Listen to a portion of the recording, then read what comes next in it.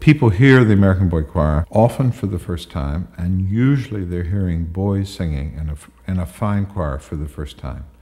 And they're always amazed that such sounds are possible. There's a clarity in the sound, there is a, uh, a, a straightforwardness that I think characterizes what it is to be American.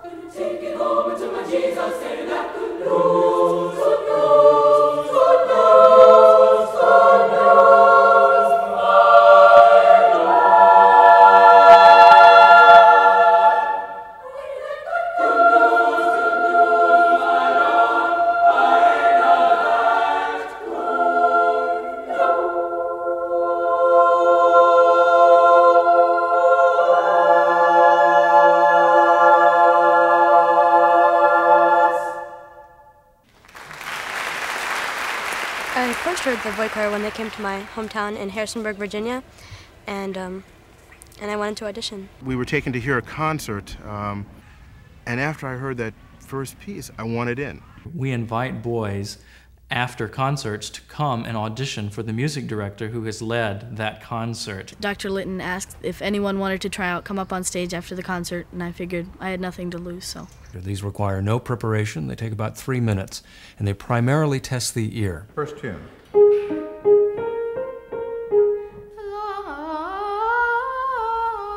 Good. Now I'm going to play two notes. There's a top note and a bottom note. Sing the top note. Now the bottom note. Can they hear the uh, relationship between notes and sing it back? Can they pick their part out of, uh, of a stack of notes?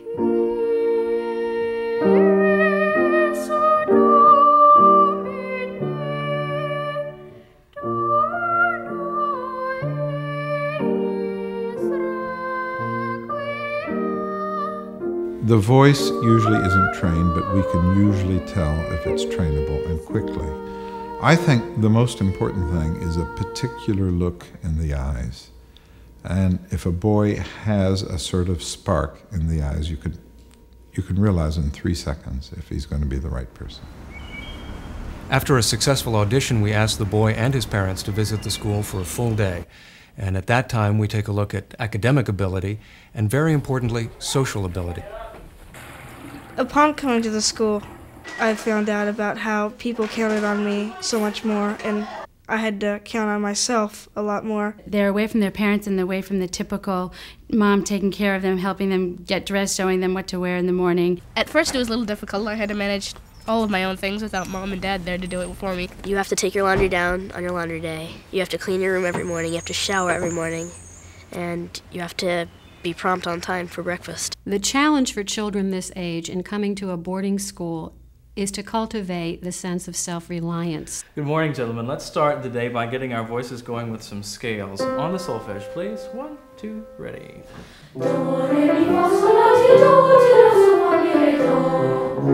The sound of the choir is very special because it's made up of boys of a very limited age range. The beginning boys are 10, sometimes 9, and then the oldest boy is always 14. So it's a, it's a particular period in a boy's life that produces a particular sound in the voice.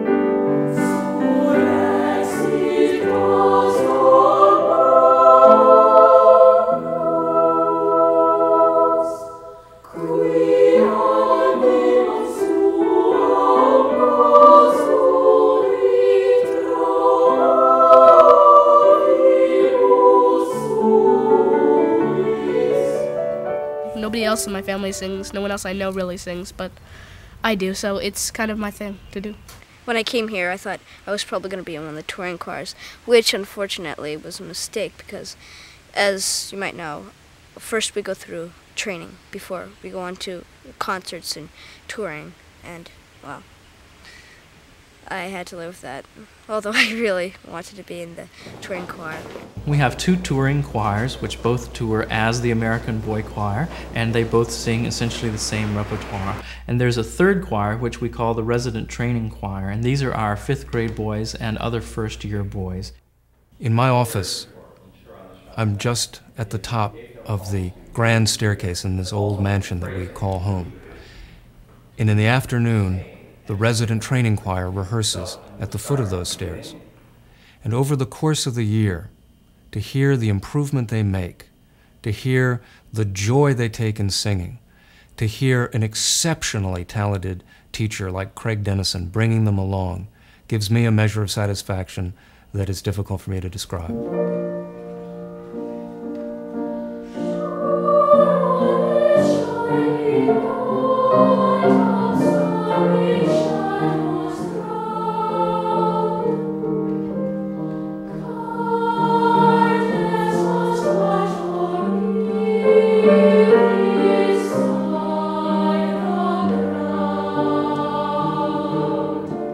When I start the year, I'm struck immediately by the desire that each boy possesses to be at the school making the kind of music that we make.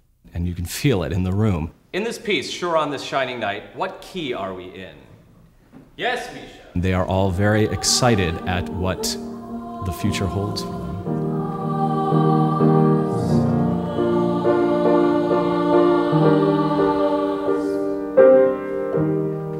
My first goal is to bring them together as a unit and, and have them understand their interdependence on each other, that they, uh, that they need to be alert to each other's sound. You need to make sure that you do the all is healed open instead of ah that way. It's, it's happening, and it, it tends, to, tends to happen over here. It's profoundly non competitive, it is a cooperative undertaking. People count on you, and you have to live up to that. And so it's just a large thing of trust between two people or 82 people.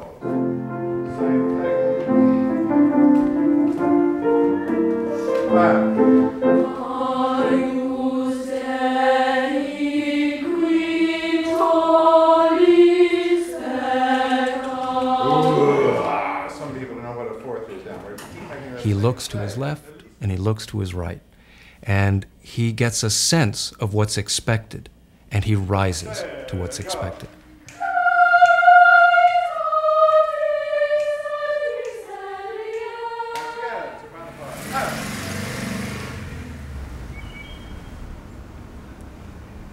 The first day I was here, homesickness was um, a big problem for me, and like um, I, I had stomach pains. When I first came in fifth grade, I was pretty young, and it was hard. The kids around help out if you're homesick, and they just tell you things about how when they got homesick. Probably the house parents were, were, were the people that were most supportive of me in the process of getting over the homesickness. Sometimes you're just so busy you don't have time to be homesick. You really get used to it and are pretty much thankful for the homesickness because you learn from it. This is a tremendous emotional sacrifice that, that parents make. And the alumni who come back invariably say that it was worth the experience, and parents agree that it was worth the sacrifice. My son's relationship with the faculty and with the staff is, is wonderful, and part of that is, is by virtue of being a very small, family like atmosphere. I think it's just a tremendously happy and, and good feeling here, uh, one, of, one of great family. I wouldn't have made that move, but. What are the three primary objectives in the early part of the game? I feel very safe having been here. It's a very good place for him to be. Yeah. We do our very best to make things feel like feel like home. After a while, they start to call it home, and on the tour bus, they say, "We can't wait to get home," and home is the boy choir school for them.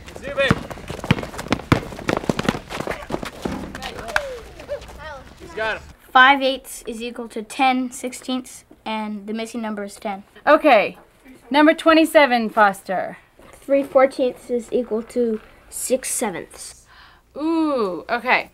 Now what you want to do with this one is you want to talk yourself through it. And then maybe you can find out where you went wrong. My old How school, it was more of like, here's your homework. Yes.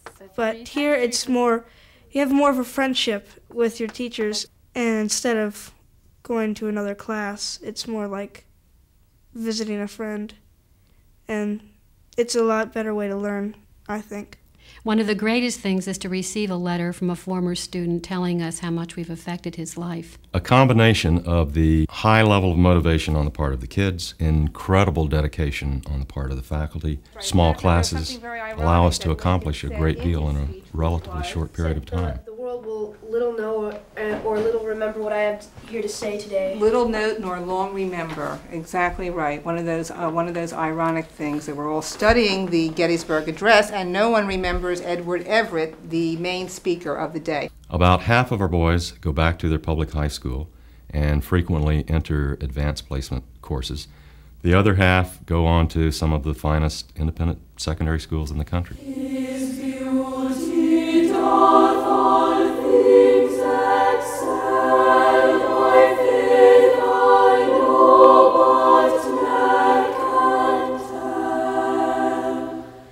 What the boys learn as human beings through the discipline of their choral training stands them in good stead. And we get many, many responses from those private secondary schools that our boys are extraordinarily well prepared for the rigors of their academic programs.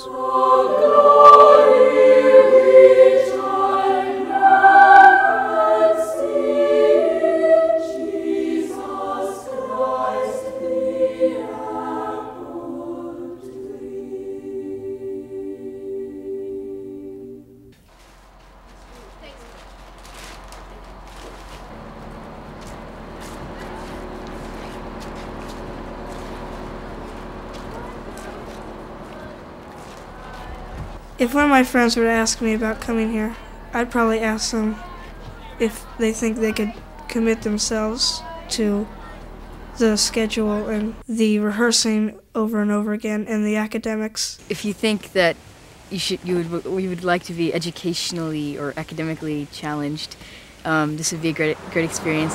You also get to travel around the world. Are you going from a bigger unit to a smaller unit, or from a smaller unit to a bigger unit? Smaller unit to I would definitely recommend the school, but they have to be prepared to come and leave their parents and to change their life and have to adapt to other things. If one of my friends asked me about school life uh, here at the American Boychoir School, I definitely tell them that it's an experience I'll never forget, and if you want to go, go for it. It would be nice for them to be here also because it's just a great experience, and anyone that can should uh, have the chance to be here.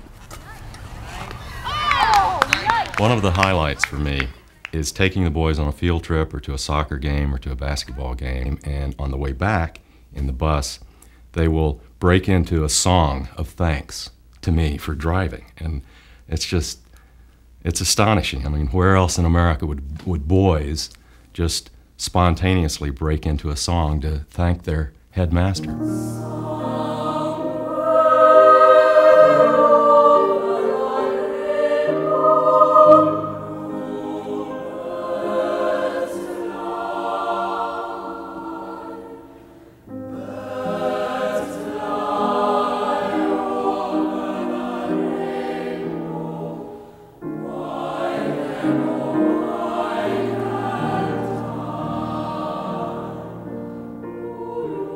First time I heard my, my son sing in the choir was just a tremendous experience. It's lots of fun to make people happy and just to see their faces light up when you sing like one of their favorite songs.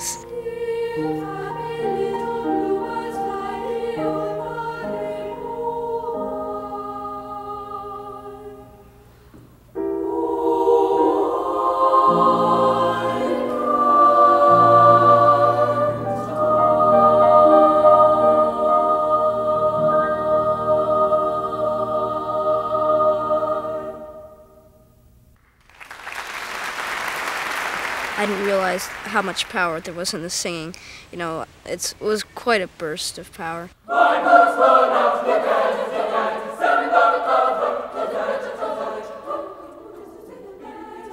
We create an environment where high standards are the norm, where excellence is expected, but where we give the students the ability to achieve. We then give them a forum in the concerts to display all of their hard work and to achieve the public recognition which builds their self-esteem. It is an absolute perfect mode for middle school education. Find something that the kids are good at, surround it with their academics. The American Boychoir School is unique because it places music an art form at the very center of its academic curriculum. Everything else springs from that central focus. And the choral art form, particularly well, integrates many forms of personal growth. I'm just going to give a couple of instructions before we go in. We're going to go in, your vestment will be handed out. Who's number six?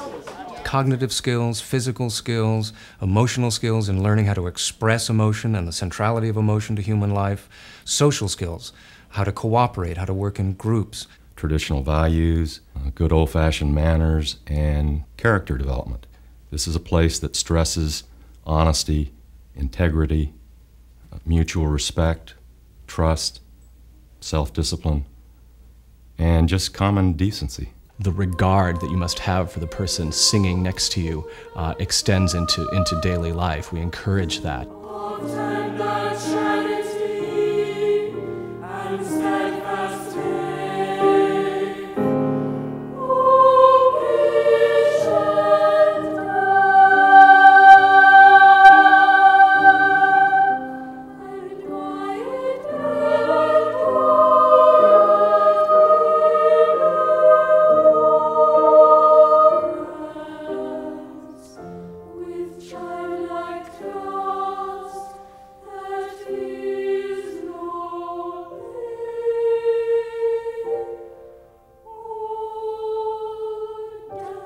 Respect these boys as artists. They are making very, very beautiful music.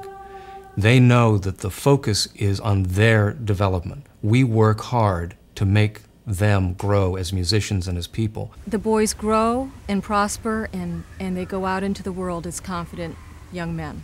I love the American Boychoir School. It's made me, in many ways, the man I am today. How do I feel about it? It's wonderful. These kids are just the best. They're the finest boys I've ever worked with in 30 years.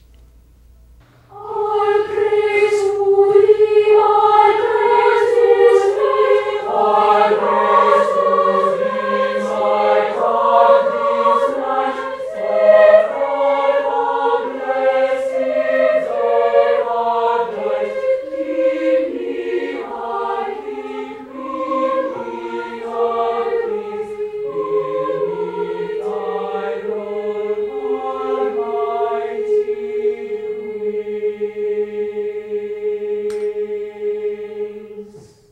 are people who bond together and work together. They come together on an emotional level, they come together on a musical level. And these people, a lot of them are 10, 11, 12, 13, 14 years old, yet they come together and make something that is exquisitely beautiful. Not just the music, though that's a major part of it and a major vehicle, but much of the beauty has to do with the community and the people being together and spirits touching spirits. And they're not that doesn't happen everywhere in this world, and that is what makes this place so special.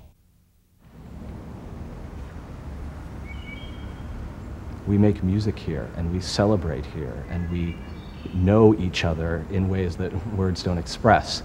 I live in an apartment where I open the window and I see the neighborhood, and I know everyone in the neighborhood and I know what everyone in the neighborhood feels because I make, have made music with them. I know how they think about life because I know how they make music. I love it here.